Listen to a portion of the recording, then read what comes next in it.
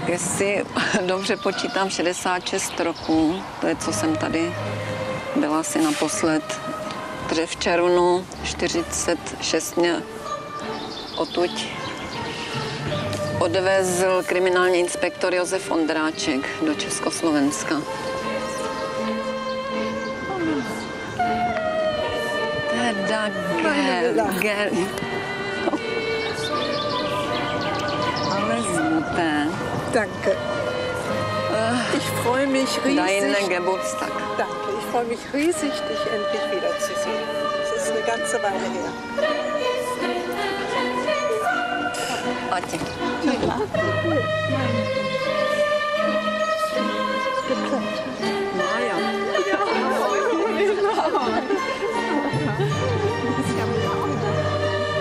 Ke mně se chovali stále jako k vlastní sestře. Takže bohužel já neumím německy, takže je to pro mě dost takový složitý, že si musím nechávat překládat od syna nebo od dcery.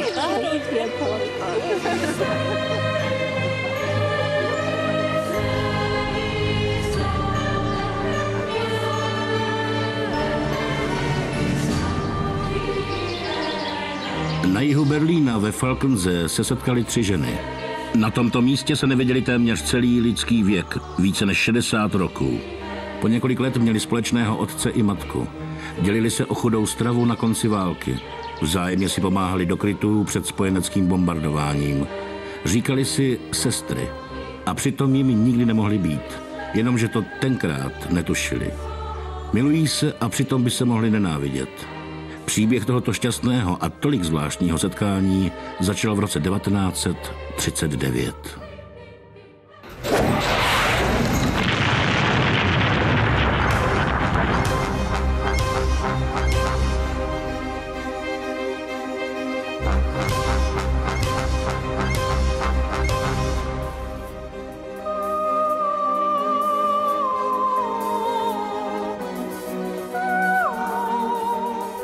15. března obsadil území Čech a Moravy německý Wehrmacht. O osm měsíců později se na Švandově mlíně narodila první dcera manželů Štulíkových Jarmila. A zhruba ve stejný čas v přilehlé obci Ležáky vzniká protihitlerovská odbojová organizace s krycím názvem Čenda. Jejím hlavním iniciátorem byl eh, místní občan Čeněk Bureš, také proto se tato organizace jmenuje Čenda. A do této skupiny se zapojilo několik místních ležáckých obyvatel, ale také obyvatelé z blízkého okolí. Nájemce lomu Hluboka, eh, pan František Vašek, jeho bratr Jindřich Vašek, který byl správce tohoto lomu. A eh, pak jsem patřil i mlinář eh, z ležáckého mlína, což byl Jindřich Švanda. S protinacistickou organizací spolupracoval i otec Jarmily, Josef Štulík, její matka Marie a dalších asi 20 obyvatel Ležáckého údolí i blízké obce Včelákov.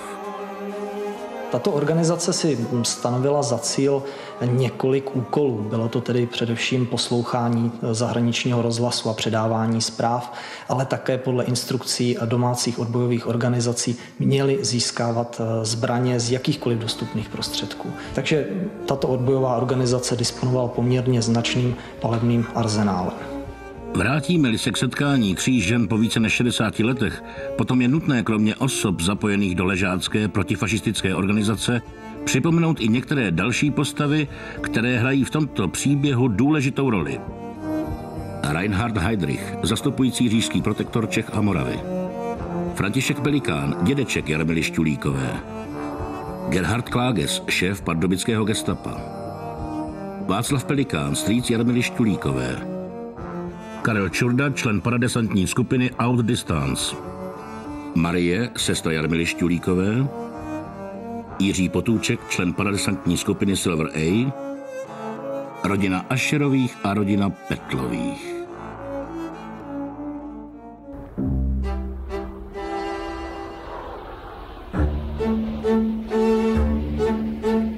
Se Šťulíkem jsem se poznal ve skupině katolické mládeže.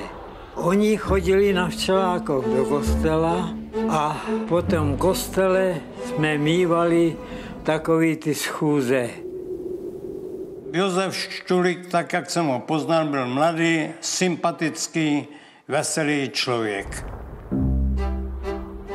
Taky na ty schůze chodívala Máňa Pelikánová. No a tam se taky seznámili s tím Josefem Šťulíkovým. Seznámili se a vzali v roce 1938. Nevěsta Marie Šťulíková, rozená Pelikánová, se vdávala v 18 letech a podle pamětníků byla velmi krásná. Josef Šťulík jako s, s Marí žil eh, na ležákách v Mlejně u Švandů. A v roce 1939 se jim narodila prvorozená Jarmila. O rok a půl později Marie. Já své rodiče znám jedině z fotografií. Na svoji maminku si bohužel nepamatuji.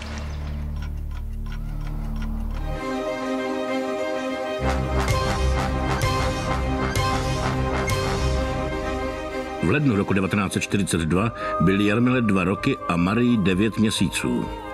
Tehdy se ležáky díky své odbojové organizaci Čenda staly důležitou základnou pro české parašutisty vysazené na území protektorátu z jediného důvodu.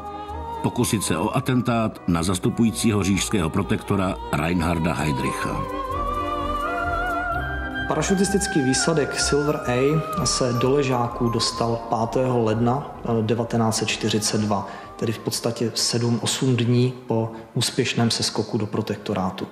Bylo to právě především díky Františku Vaškovi, který měl kontakty v Pardubicích. Proto i právě parašutisté našli tuto organizaci takto rychle a měli takto rychle vytvořené zázemí v ležákách. Zázemí bylo velmi důležité. Ležáky se měly totiž stát místem rádiového spojení mezi parašutisty a londýnskou centrálou. Vysílací stanice Libuše byla do ležáku dovezena 5. ledna 1942 společně s prvním parašutistou Jiřím Potůčkem. Je možné, že zde byl i velitel Silveru Ale Alfred Bartoš. Hledali velmi dlouho, pět dní, šest dní, místo, kde by vysílací stanice mohla být umístěna. 9. ledna 1942 již byla vysílací stanice umístěna v lomu Hluboká ve strojovně místního lomu. Určitý podezření, že se tam něco děje, o čem nevíme, vzniklo asi tehdy, kdy můj spolupracovník mě nerad pouštěl do, do ty strojovny samotného, anebo prostě bez dozoru. Vždycky, když byla možnost jo, mezi námi, tak šel radši šel sám a mě říká, buď tady, nechoď tam, nebo choď, nechoď se mnou. Jo. 9. ledna 1942 se radiotelegrafista Jiří Potůček pokusil poprvé o spojení s Londýnem. Nepodařilo se. První úspěšný kontakt zaznamenal až o šest dnů později.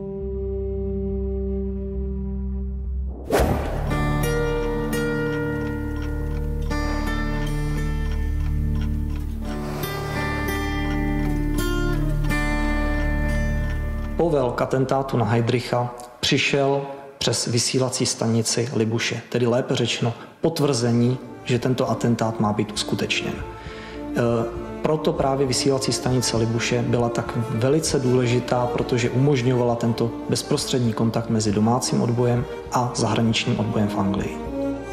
Atentát provedli 27. května 1942 parašutisté Jan Kubiš a Josef Gabčík.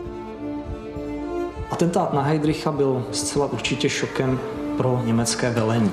Nikdo neočekával, že by čeští vlastenci byli schopni vytvořit anebo spáchat takovýto čin. To byl skutečně mezinárodně významný odbojový čin.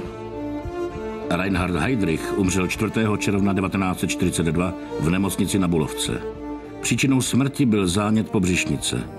V protektorátu začal hon okupantů na parašutisty a všechny, kteří jim pomáhali. S čím ale nikdo nepočítal, byla zrada jednoho z výsadkářů. 16. června 1942 se na pražském ústředí gestapa v Pečkově paláci přihlásil parašutista Karel Čurda. Byl to on, kdo gestapu také e, prozradil úkryt svých spolubojovníků.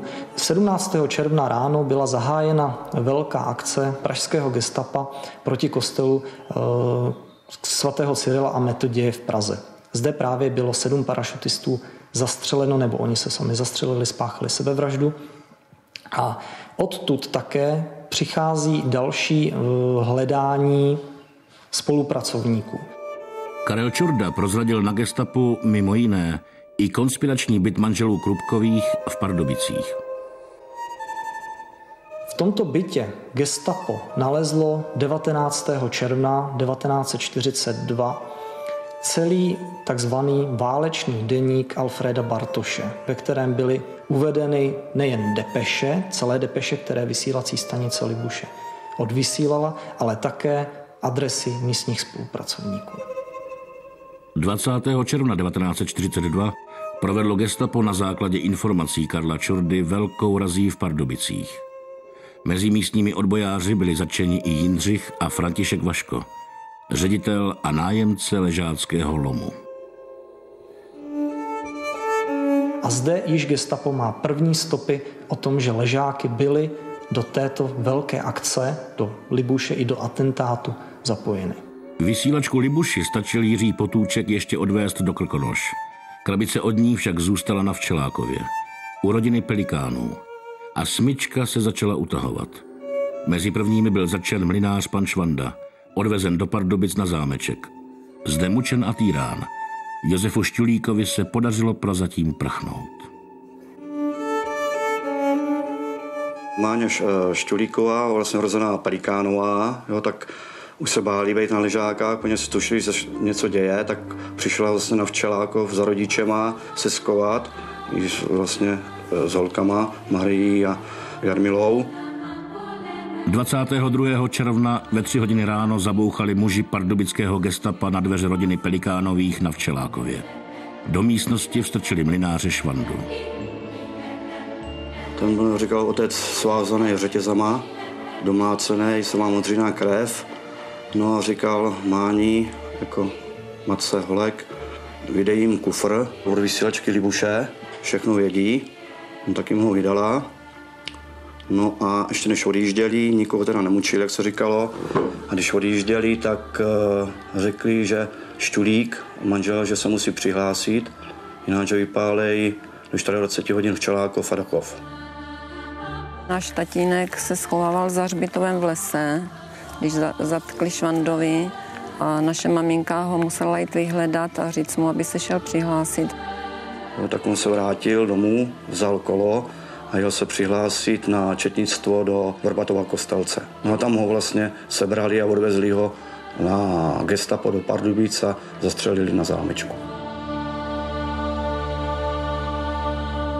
Tím vlastně pan Štulík eh, zachránil život několika lidí, protože kdyby se nepřihlásil, tak věřím tomu, že když byli schopni vypálit ležáky, takže předtím by ještě nevypálili včelákov a dachov a pokračovali by pak těma ležákama.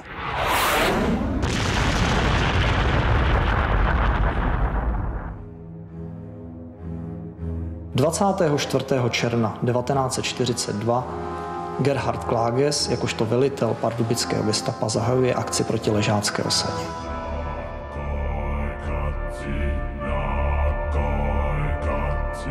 24. června 1942 byla středa. Kolem 13. hodiny přijeli k ležákům eh, skupina Schutzpolizei z Pardubic, která měla asi 500 až 600 členů, plus čeští četníci. Ve 13 hodin 30 minut obklíčili tyto jednotky ležáckou osadu a začali vyvádět všechny místní obyvatele do blízkého lomu, do blízké opuštěné jámy Černíkova lomu, a to včetně lidí, které se podařilo jim chytit někde na cestě. Tak tady je ten vytěžený lom, kde byli všechny lidi nahnaný. Celá trestná akce byla ze strany pardubického gestapa logicky promyšlena a také kontrolována až z Berlína. Byli podchyceni všichni obyvatelé osady Ležáky a pro každého z nich, byť jednotlivě, do různých obcí v okolí, kde byli zaměstnáni, německé jednotky přijeli. Nejvíce z ležáckých mužů pracovalo v blízkém lomu. Já jsem toho viděl málo, protože přístup do lomu byl úplně na druhém konci ještě bylo moje pracoviště a takže tam, jak přicházeli a vybírali lidi, prostě eskorty z, jedno, z jednotlivých pracovišť, jo, to viděl jsem pouze v jednom případě, kdy pracovník ležácký byl umístěn, pracoval v jámě, musel z té jámy vystoupit na žebříku, eskorta na něj čekala nahoře a tam ho odváděli. Šel prostě jenom v kalhotech, jo, v těch dřevácích a tak ho tři vojáci se, se samopovali. Dva po straně zprava, zleva, třetí vzadu. Tak takovým způsobem ho odváděli. Zhruba asi za dva dní přijel znovu gestapo a vlastně odvezli holky Štulíkový pryč na gestapo. Odváželo osobní auto a otec ani nebyl doma, byl na louce u faráku. No a když přišel jako domů už, no tak tady už ženský brečeli, jakože odvezli holky pryč. Opravoval jsem na prodejně boty a vyšel jsem ven a viděl jsem, jak vojáci německý vezou dvě malé holky. Říkám, to jsou asi šťulíkovi. Ty děti tak plakali, oni pláčou děti někdy, i když je s nima máma. Na to, když je vezli ty německý vojáci v uniformách. Když nás odtud odváželi, tak to všechno víme, co jsme se dozvěděli od pamětníků, protože eh, mě nebyly ještě tři roky. Mě odebrali, když mě bylo 15 měsíců. Zásah gestapa byl precizní. Pro výstrahu. Všichni obyvatelé Ležáckého údolí měli být potrestáni. Všichni. A tak pro děti z obce Ležáky vojáci přijeli do školy na Včelákově. Tady je ta škola, kam chodili děti z Ležáku. Tak čtyři děti odtud odvezli. Pro Marušku hrdou. Ta chodila do školy ve Skuči, takže pro ní přijeli na motorce. V 14 hodin 30 minut dochází ke třídění obyvatel, ležáčtí jsou naloženi do autobusu a zbývající lidé, kteří nebyli z ležáku, byli propuštěni. Kolem 15. hodiny, půl čtvrté odpoledne, tyto autobusy opouští ležáky v podstatě již navždy. Autobusy, které odvážely civilní obyvatele z ležáku, dorazili do Pardubic někdy kolem 4. 5. hodiny odpoledne. V podstatě v tuto dobu již ochranná jednotka Schutzpolizei začíná vypalovat domy místních obyvatel. Kolem té páté hodiny, kdy jsme uviděli dým stoupat prostě na, nad ležáky. Vzhůru prostě jsme pochopili, že ležáky už hoří, bylo, slyš, bylo slyšet i temné, temné výbuchy, no tak jsme se dostali stát před dílnou a dívali jsme se na to. No samozřejmě zrušení jo, a v tu chvíli s námi loncovala hrůza a strach, jo, z toho, co může, může následovat, co se bude dít dál. Obyvatelé z Ležáků byli dovezeni na Pardubický zámeček, kde také sídlila ochranná policie.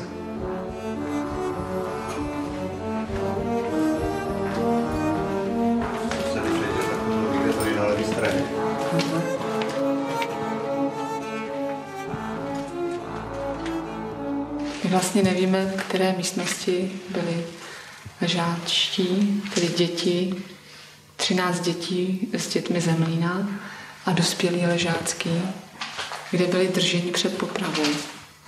Protože ty místnosti nejsou označeny a je to úplně labirint tady.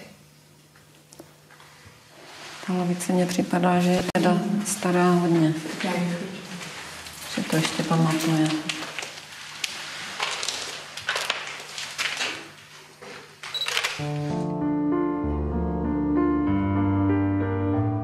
19. hodiny odjíždí z tohoto zámečku autobus, ve kterém je 13 ležáckých dětí, a to do pražské Rasse und Siedlungsamt v Dykově ulici.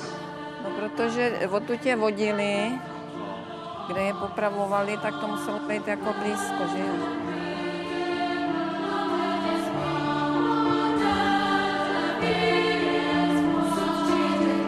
Ve 21 hodin 15 minut začínají popravy ležáckých obyvatel na popravišti v zámečku.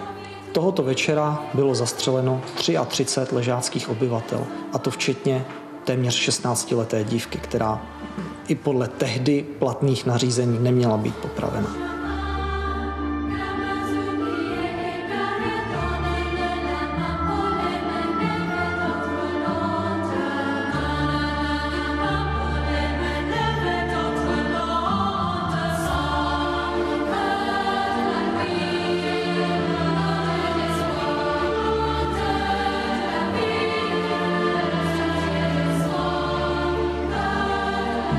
Července 1942 byli na stejném místě v Pardubicích popraveni mlinář Švanda a tatínek dívek Šťulíkových Josef.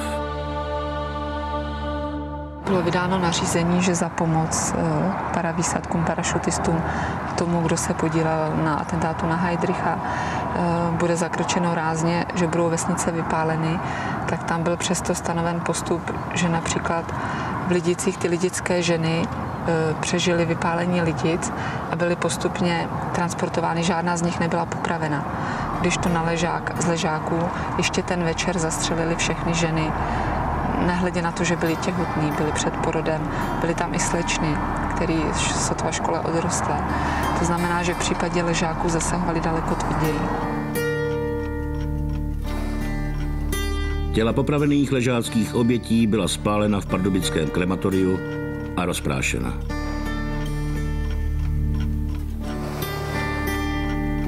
Tady sebrali i babičku, dědečka, i strejdu, tak ty odvezli do Pardubic. Byli v donucovací pracovně. Jelikož otcovi bylo tak 14 let a shodou okolností tam byl Čech, český četník, který měl za manželku Němku a znal se s těma Němcema, tak chtěl nějak pomoct, tak uh, u toho jiného gestapáka vlastně si vynutil, že otec hospodařil, vlastně i pro Němce, že jo, dodávky museli se dávat, tak ten Němec pak s tím byl svolný, jo, a řekl, tak si ho teda odveďte, vyhoďte ho za Pardubice a to, no, tak ještě eh, děláš si na Včelákov. Český četník, který zachránil strýci sester Šťulíkových život, je muž na této fotografii. Otec se dostal sám, měl hospodářství od 14 let, nikdo mu nechtěl pomáhat ani, že on má težně, brambory a lidi se báli mu jít pomoct, že jo, tak musel dřít vlastně na baráku sám. Zbylí členové rodiny byli po výsleších a mučení odvezeni do sběrného tábora v Terezíně a odtud následně přesunuti do dalších koncentračních táborů. Dědeček Pelikán se dostal do koncentračního tábora Buchenwald a naši se z Terezína dostali do Osvětimi. Eh, dědeček Štulík snad měl být v Osvětimi přímo, ale jako babičky a maminka, ta, ty byly v Březince, že jo.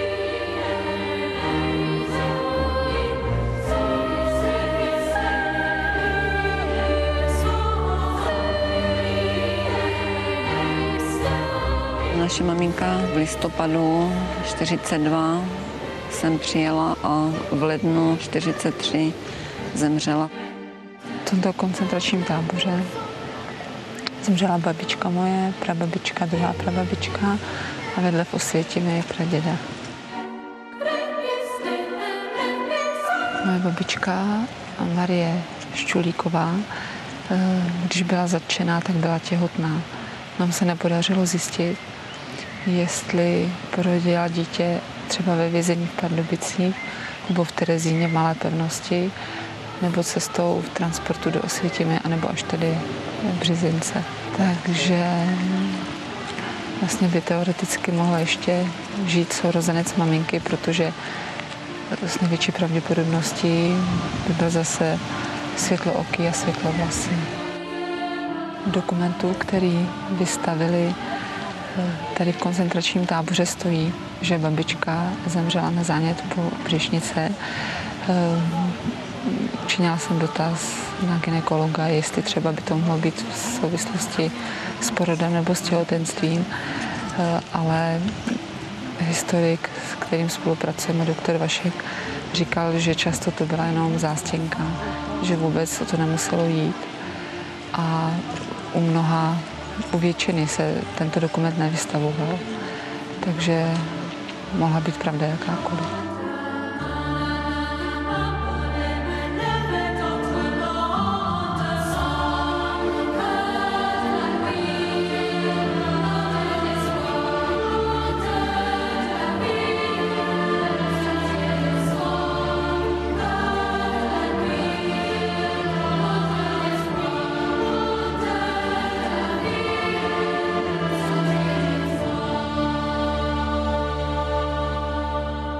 Za ležáckou tragédii byli zodpovědní především členové pardubického gestapa. Untersturmführer Gerhard Klages zahynul 15. října roku 1944 při ozbrojené akci v Maďarsku.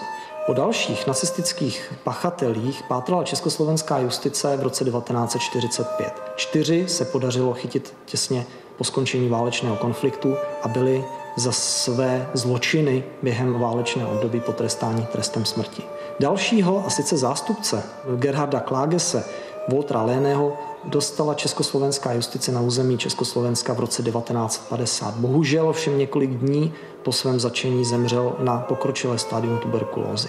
V případě několika dalších členů pardubického gestapa máme o nich informace, že německá justice je vyslýchala v 60. a 70. letech, ovšem nikdo z nich, až na Voltra Kroegra, nebyl potrestán.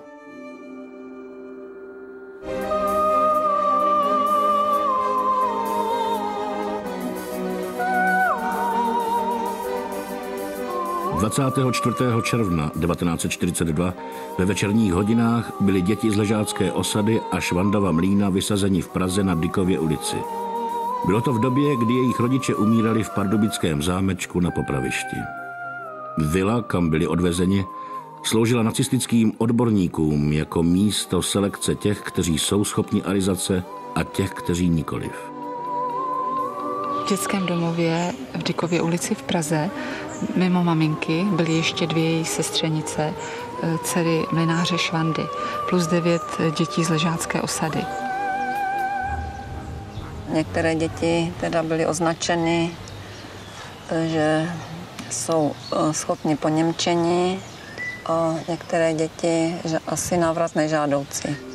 Dvou a půl letá Jarmila a 15-měsíční Marie Šťulíkovi byly shledány vhodné k poněmčení.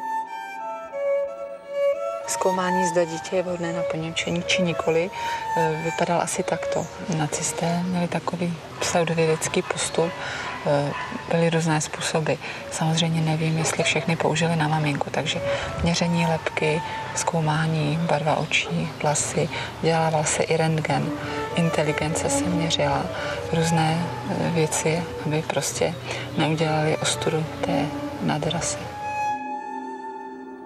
Proč byly vybrány právě sestry Šťulíkovi je dnes velice obtížné určit. My nevíme, proč oni dvě byly vybrány k arizaci. Těch kritérií, které měli němečtí lékaři a němečtí odborníci pro rasovou otázku, bylo tolik, že dnes říci přesné body, proč právě tyto dvě sestry přežily, to nejsme schopni říci. Z toho vyplývá, že vlastně výsledky takovýchhle pseudoměření potom rozhodovaly o bytí a nebytí toho dítěte. Dá se říct, že asi jsem měla štěstí.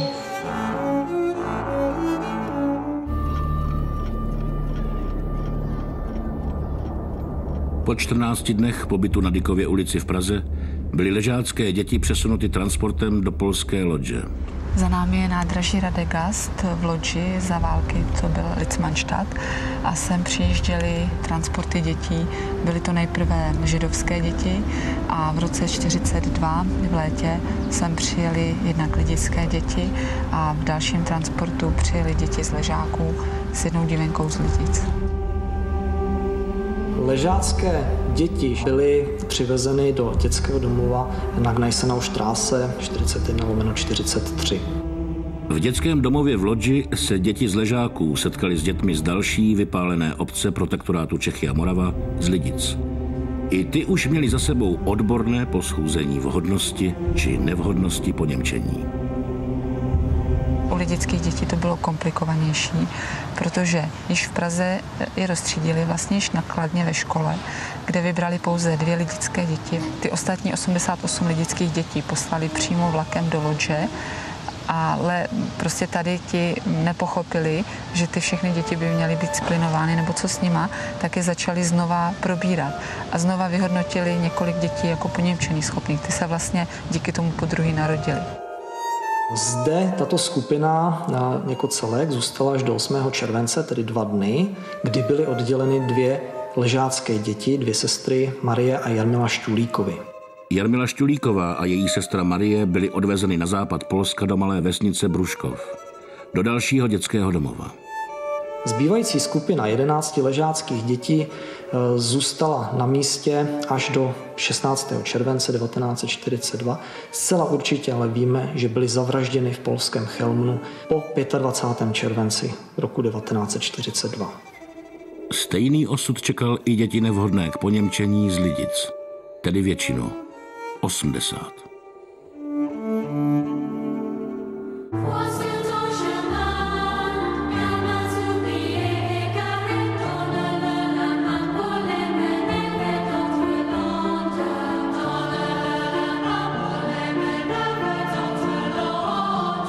Jsme v Chelmnu na místě, kde byli popraveni.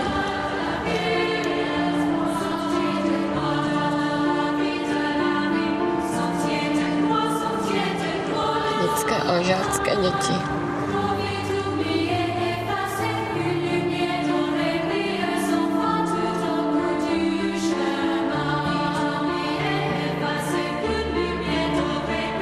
Kde je ten strom, tam byly přistaveny autokary, který eh, na výfuk byla nasazena hadice a byla vedena dovnitř toho vozu.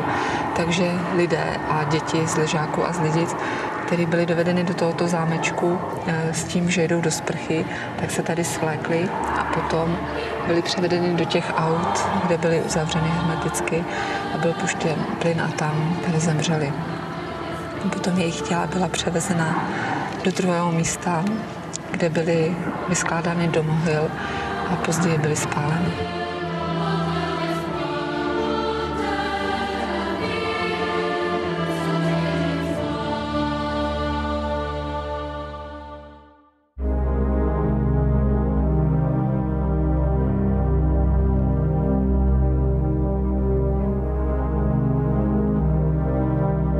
Zámek ve vesnici Bruškov. Zcela odlehlé místo u Bjurku Vělkopolského. V roce 1939 zde nacisté zřídili internační tábor pro polské kněze, kteří byli odtud transportováni do koncentračních táborů. Od roku 1940 sloužil jako dětský domov určený ke germanizaci a převýchově vybraných dětí.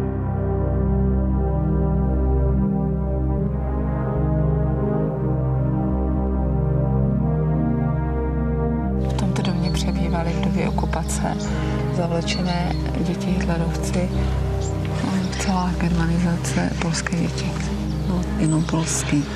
Vy jste byli asi jediný český děti, to znamená eh, ty, tvoje sestra, dvě děti z Lidic a vnuci Přemysla Šámala. To byly asi jediný český děti, které tady za druhé světové války pobývaly. Tak opisane, jak to było w czasie wojny, jak Niemcy germanizowali dzieci. To dotyczy tej, tej, tej, tablicy, nie? To jest całe takie jedno. Já, zrobię, já zrobię sobie zdjęcia, tak? Tak, proszę bardzo. Moje maminka se svojí sestřičkou Marí sem byly dovezeny a hned za asi za 8 dnů byly převezeny do dětského domova v Puščikově.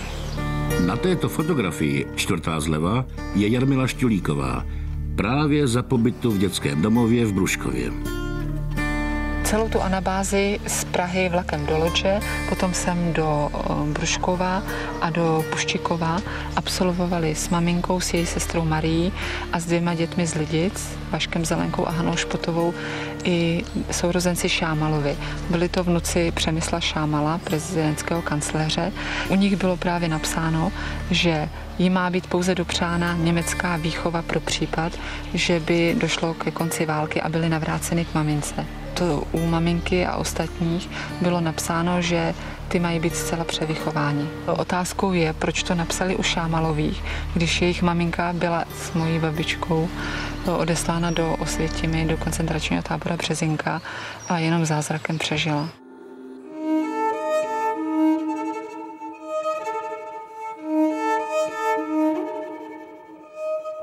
Klášter v Puščikově Němci za druhé světové války proměnili také na dětský domov se stejnou specializací jako v Bruškově.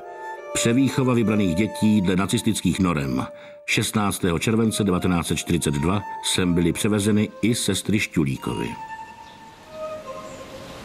Takže na pewno vzpomnění o životě, pravda? Přemýšlím. Tak.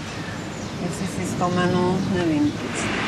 Maruška Šupiková z Lidic eh, nám říkala, že my už jsme tady byli, takže sem přijeli po nás 1. září a nahoře byly děti Šámalovi, které na ně, na ně mávali. A nemyslíš, že tohle mohla být jídelna, kde jste jedli za války? No je to tak dlouho, že malý stoleček tam byl, ale Aha. jestli to bylo tady, to už bohužel nevím. Tak já mám teda některé vzpomínky z Polska, že, kde jsme teda s nějakou dívkou běhali, byla to snad koupelna nebo umývárna, takže jsme hledali něco k jídlu. To je moje první vzpomínka.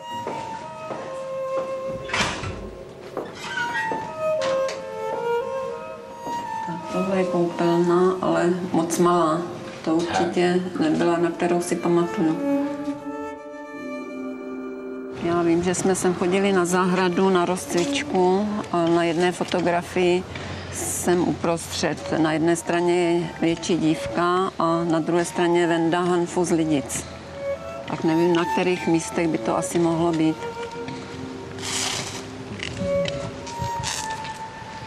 Tam trošičku z těch ovocových dřev, ale to jsou za, za mladé, ne? Tady byly učili německy, museli si osvojit takové ty německé zvyky, co se týče stolování, jedení, hygieny, to všechno. Tady byly foceny, byl na ně psán posudek, který musel být odeslán potom na Lebensborn. Podle těch fotek pravděpodobně si vybírali potom potenciální rodiče. Nacistická výchova byla ve vojenském stylu. Za každý prohřešek proti pravidlům nastupovaly těžké tresty.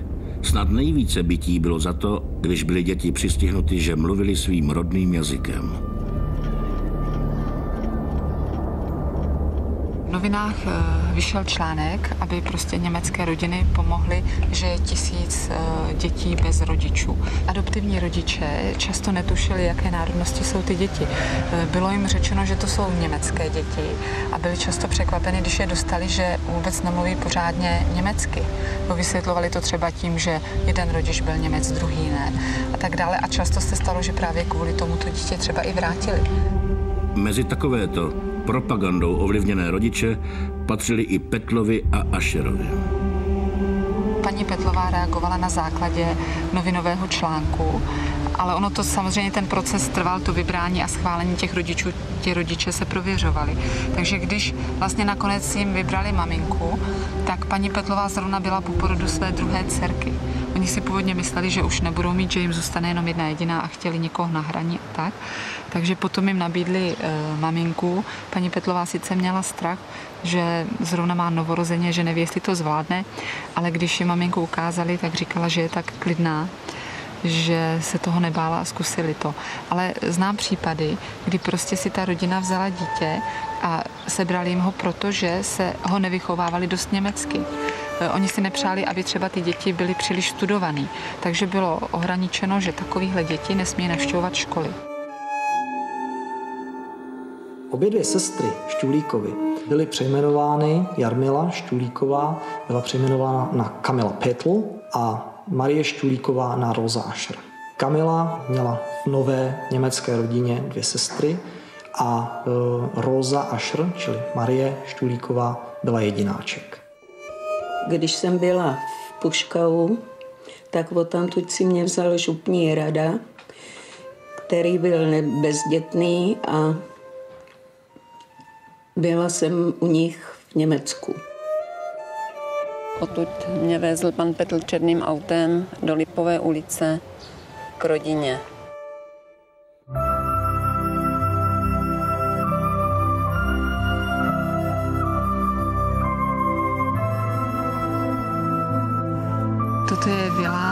Lipové ulici, dnes číslo 13, kde za války bydleli Petlovi. Dobrý den.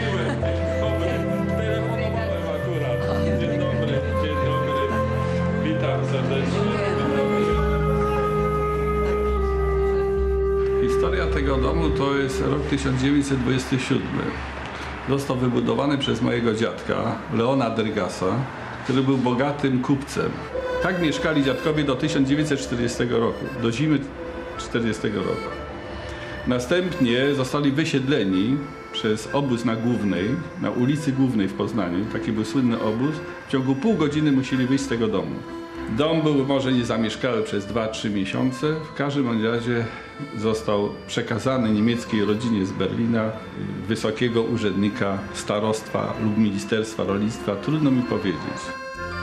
Hanach a Rudolf Petlovi eh, byli němečtí manželé. Pán byl zemědělský radou, eh, který jsem byl dosazen a měl tady na starosti zásobování. I otóż, jak kiedy wrócili dziadkowie po wojnie w 1945 roku, dowiedzieli się historii o dziewczynce, która przez tą rodzinę została zaadaptowana. Ta historia tej dziewczynki y, była, jakby to powiedzieć, w świadomości naszej rodziny i jeżeli chodzi o dalsze losy, były nam nieznane tej dziewczynki. Já bych se jenom chtěla zeptat, že tady dole byla kuchyň, si pamatuju, a byl výhled na zahradu. A pak byl les. A tak ta kuchyň tady ještě... Tady je ta kuchyň?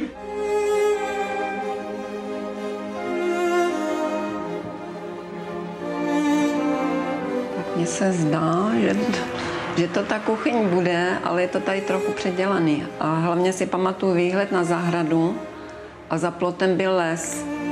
A mám teda jednu vzpomínku, že jsem zapomněla koloběžku u plotu a že pak se někdo zlobil, že jsem mi tam nechala. Jsem neměla žádný velký zkušenosti nebo nic jsem si nepamatovala předtím, tak jako si myslím, že to bylo pěkné, že se ke mně chovali jako k vlastní. A děvčata, třeba starší, Angelika říkala, že mě měl radši pan Petl, než jako třeba vlastní děvčata.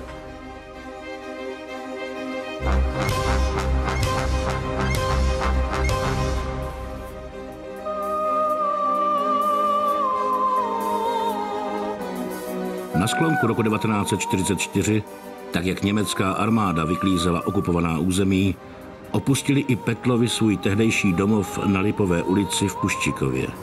Snažili se dostat z dosahu zbraní. Na tuhle dobu si vzpomínám, že jsme se všichni vykoupali nahoře ve Vilce v prvním poschodí a pak jsme se někam stěhovali. No, jeli jsme teda vlakem a pamatuju si, že jsme museli z vlaku eh, se schovávat někde, že bylo bombardování. Petlová se po útěku z Puščíkova stěhovala mnohokrát, až nakonec zakotvila eh, ve spodní části Berlína. Dnes je to Falkensee. V tom posledním domku, co jsme bydleli nahoře, tak tam jsme chodili třeba pro mlíko k sedlákovi A tam si pamatuju třeba na dvoře, jaká to byla pochoutka, když nám eh, paní Petlová, říkali jsme jí mami, eh, namazala chleba margarinem. No a tam jsme taky chodili sbírat šťovík někde na louku a z toho vařila polévku.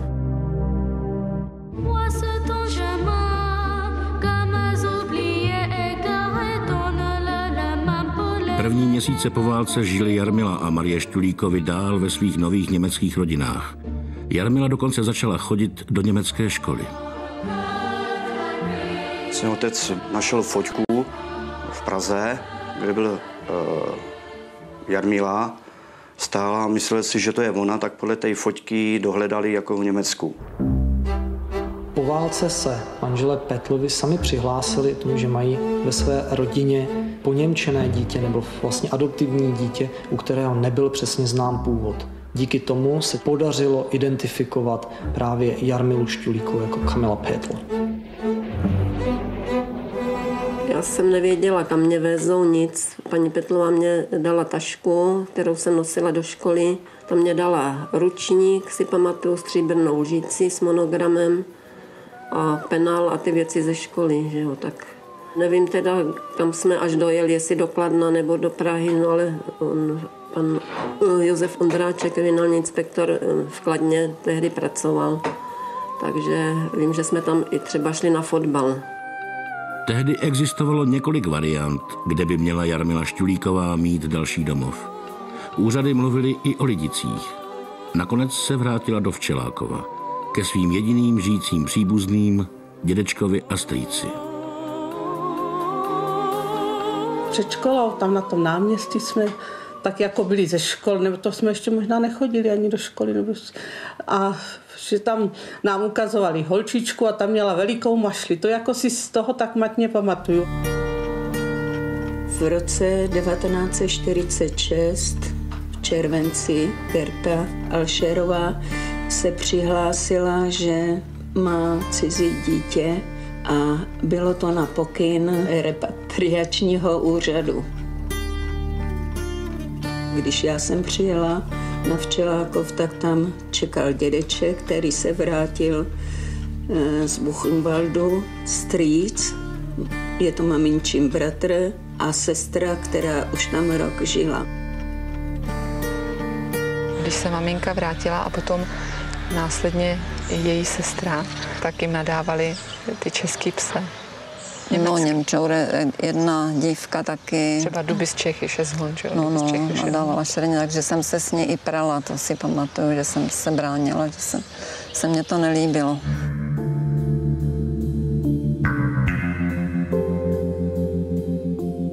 Na Včelákově bydlely obě dívky v domě Pelikánů. Živobytí obospodařoval 17-letý strýc, který se staral o malé hospodářství. A samotnou výchovu Jarmily a Marie měl na starosti dědeček. Starý muž, který se vrátil z Buchenwaldu se silně podlomeným zdravím. Mimo jiné vlastně vůbec neslyšel. Dědeček ten zastával všechno, ten pral prádlo, vařil všechno. To byl zlatý člověk. Byla jedna místnost, že jo, žádný uh, splachovací záchod, jak se říká, kadibouda na dvorku. Holky museli spát na jiný posteli, že jo. Bylo akorát chleba a mlíko. Jako ke stravě moc toho nebylo ze začátku. Jarmila, když jsem teda jako přijela, tak tam už chodila v Německu rok do první třídy a tady chodila znova do první třídy, aby se naučila česky. Já si nespomínám na chvíli, kdy jsem začala chodit do první třídy, ale moje spolužačka si hodně pamatuje naštěstí, takže mě vždycky něco vypravuje a já se nestačím divit. Tam byly právě takové různé tragikomické situace, kdy pan řídící volal a ona vůbec na to Jarmila Šťulíková nereagovala, tak on přišel a klepal do lavice Jarmilo Šťulíková a ona se postavila Ich bin Kamila Petl, ich bin nicht Jamila Špulík. Vlastně ani neuměla vyslovit své jméno. Když jsem přijela z Německa, tak jenom německy jsem uměla a postupně jsem se učila česky a strýc Pelikánu jako chtěl, abychom si Němčinu udrželi, chtěli, aby jsme mluvili německy aby, že si to s námi bude opakovat, my jsme odmítali.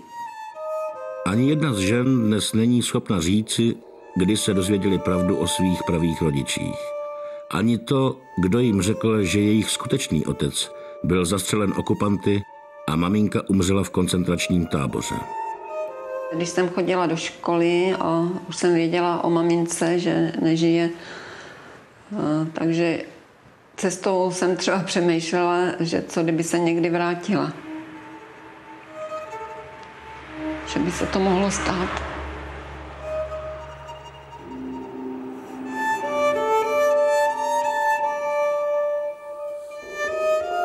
Oni v podstatě po druhé ve svém krátkém životě, protože jim bylo nějakých 7-9 let, ztratili své rodiny.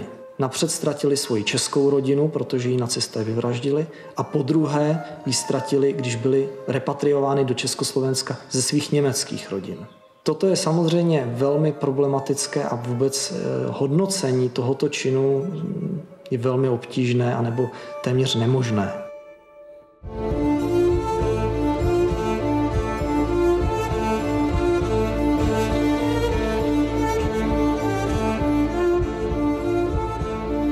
Československo se snažilo především v návaznosti na lidickou tragédii pomoci i ležáckým obětem. Obě dvě sestry měly alespoň tu možnost, že jim bylo zajištěno slušné bydlení. To znamená, dostali od státu eh, postaveny nové domky, které jsou na Včelákově. Jsou podle stejných projektů, jako jsou vybudovány nové lidice. V rámci kampaně na pomoc lidicím a ležákům probíhaly v Československu národní sbírky. Za peníze z těchto sbírek měly být mimo jiné postaveny i domy pro Jarmilu a Marii. Lidi z celé republiky Děda říkal, že i lidi dávali třeba i poslední, třeba i zlato, náušnice. Nejsmutnější na tom bylo, že když se stavěly domky, takže se našli takový lidé, co se snažili si vypomoct pro sebe, že mají tady postavený chlívek, vomítky na baráku a, a parkety se vozily o tamtuť. S horkou těží postavili první barák, ač peníze se dost rozkradly. Když začali stavět druhý domek, tak přijeli z kraje, že se musí přestat, že na to nejsou finance. Ale když viděli, že už je sklep hotový, tak ty domky dostavěli. Nejhorší na tom bylo, že když ty domky se opravdu postavily, tak Národní výbor začal s tím, že stát udělal něco pro nás, takže my musíme udělat něco pro ně. Že do jednoho domku buď to nastaví, teď se dohadovali, jestli obvodní lékař nebo zubař. Takže takovéhle problémy s tím byly. Na postavení ležácké základní školy, která byla v plánech po druhé světové válce, se uspořádala velká celorepubliková sbírka. Peníze byly vybrány, sehnaly se, ovšem nenávratně zmizely a v podstatě nevíme kam. Dostali jsme taky každá 25 tisíc jako odškodnění za to, že jsme byli v Německu, ale v 53. přišla měna a ta vkladní knížka byla napsána na jméno Marie a Jarmila Štulíkovi, takže tam bylo 50 tisíc a nedostali jsme nic. V čase, kdy se pod Čelákovským kopcem dostavovali domy pro Jarmilu a Marii, došlo ještě k jedné smutné události. Dosavadní živitel obou dívek, strýc Pelikán, se jednoho dne v čase žní probudil a zjistil, že mu někdo přes noc zaoral všechno zralé obilí. To protože odmítal vstoupit do JZD.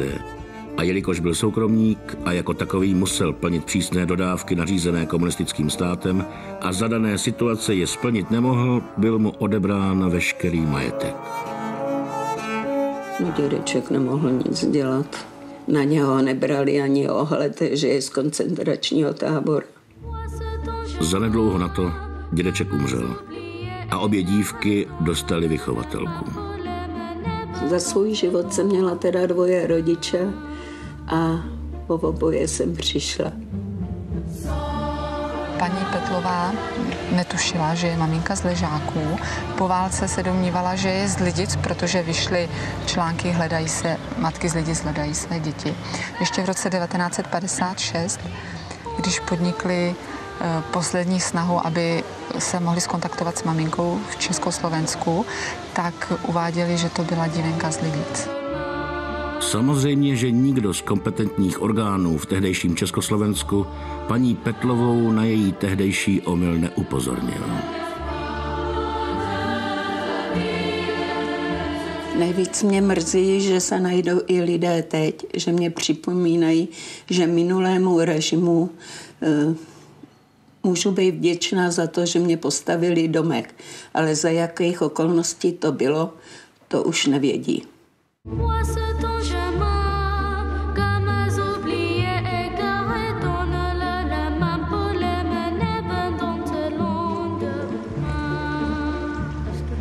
Dankeschön. Dankeschön. Dankeschön. Und dass es auch anwächst.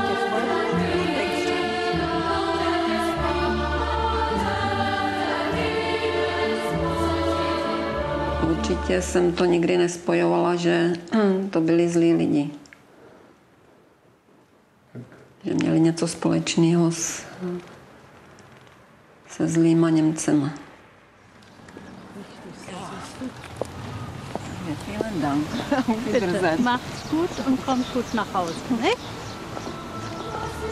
Vracíme se na začátek našeho příběhu.